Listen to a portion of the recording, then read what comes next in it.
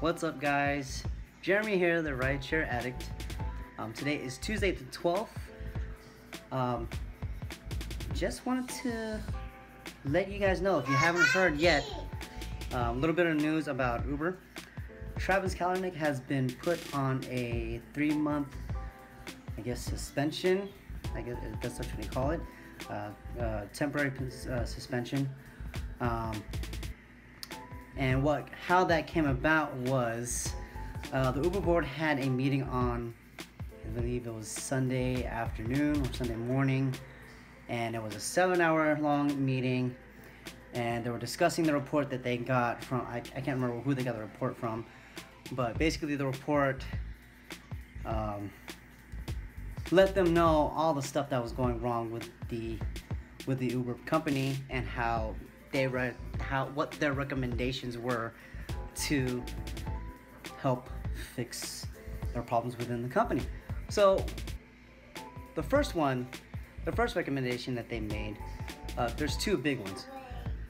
That Emil Michael, who was Travis Kalanick's uh, right hand man, to resign. He resigned officially uh, yesterday afternoon. He's no longer part of the Uber board.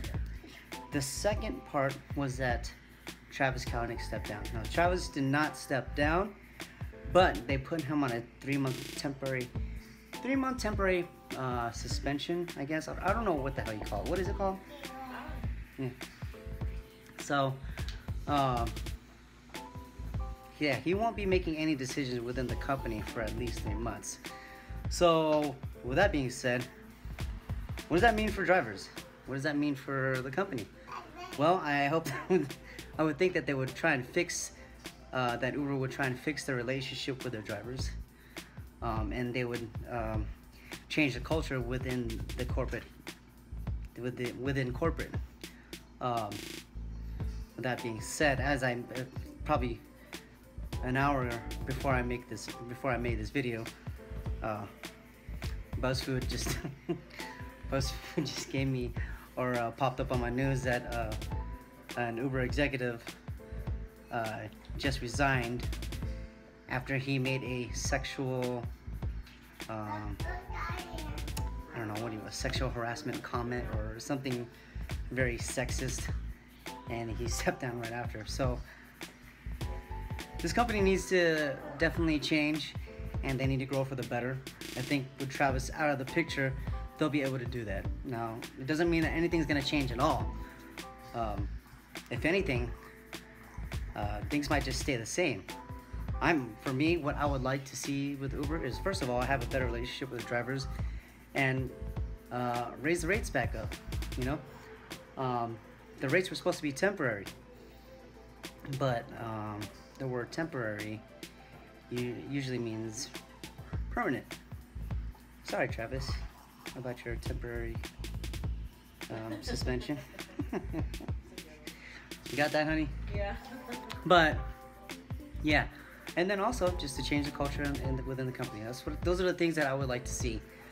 Um, other than that, uh, I just thought you guys would like to know. If you guys didn't know already, um, yeah. Until the next video, peace out, guys. Have a good day. Okay, so before I end that video, like for real, for real this time, um, another thing that I wanted to see Uber change or add is the tip chop. The tip chop. The, tip. Sorry,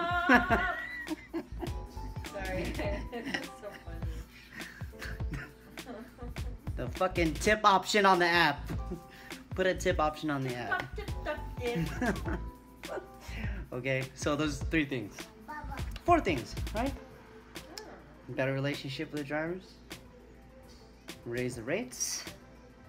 Tip option. And change the culture of Uber.